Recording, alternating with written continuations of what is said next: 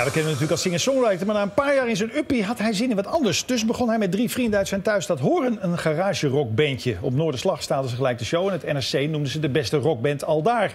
Ze toerden de afgelopen tijd door Amerika en speelden op het prestigieuze South by Southwest Festival in Texas. Morgen verschijnt hun titeloze debuutalbum. The Miseries is de band. Tim Knol is de verrassing. Want al die fans, die, al die platen van jou, drie, drie, ja. Ja. drie mo- mooie singer-songwriter platen. Ja. Wat, waar, waar, eh, stel ze gaan naar jullie concert, ze kopen de plaat morgen. Wat moeten we ze waarschuwen? Ja, ik zal oordoppen meenemen. Oordoppen meenemen. Totaal iets anders, Tim. Eh, ja, ik had even zin om eh, weer met een bandje op pad te gaan. En ehm, kijk, als je solo bent, ik voel me een beetje alleen op een gegeven moment. Me en nu deel je weer, je schrijft samen echt liedjes en we delen veel plezier vooral. En ja, dus het is hartstikke gezellig eigenlijk. Ik heb het eigenlijk opgericht omdat het gewoon gezellig is. Het is gewoon gezellig. het is En een, een lekker toertje door Nederland. Ja, Hoe was het daar in. Amerika trouwens? Eh, super. We hebben een hele goede tijd gehad. En, Oké. eh, veel, Van- veel gespeeld. Dus, eh, ja. Lekker hard. Hopelijk terug volgend jaar. Lekker hard, hè? Het wordt pittig. Oordopjes in, jongens? Nee, je hebt ze uit. Ja. heb je ze nog? Ik sta ervoor hoor, dat dit verbergt. Hoe heet het nummer? Eh, Sorrow. Oké, The Mystery.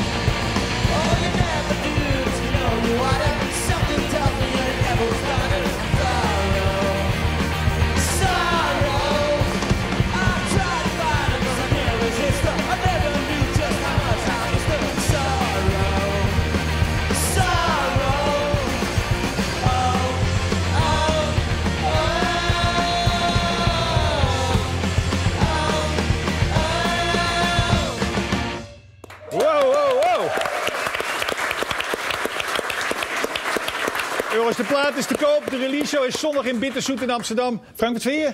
Fantastisch. Ja, hè? Maar echt, het is lekker hard en het, het, wat je al zei, en het is snel en het rammelt, maar zo hoort het bij deze muziek. Oké. Hoor je het? Oh, that's it.